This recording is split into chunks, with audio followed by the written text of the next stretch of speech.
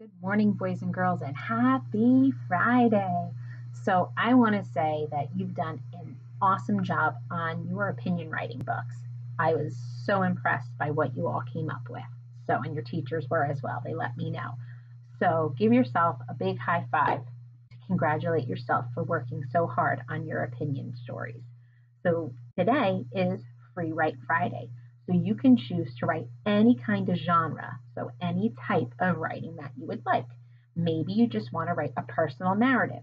Remember at the beginning of the year when we wrote personal narratives where it was just a story about maybe an experience that we had with our family, maybe a vacation or um, a trip or um, going out to dinner, something like that. So maybe you want to write a personal narrative. Maybe you want to write a how to or an all about with our nonfiction writing that we just ended a few weeks ago. Or maybe you want to write another opinion piece and go through all the steps that we just did this week on how to write an opinion book. The choice is yours, writers.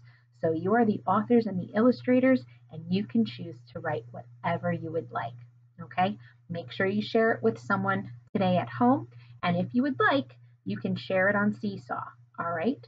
Have an awesome weekend and I will see you guys next week. Bye.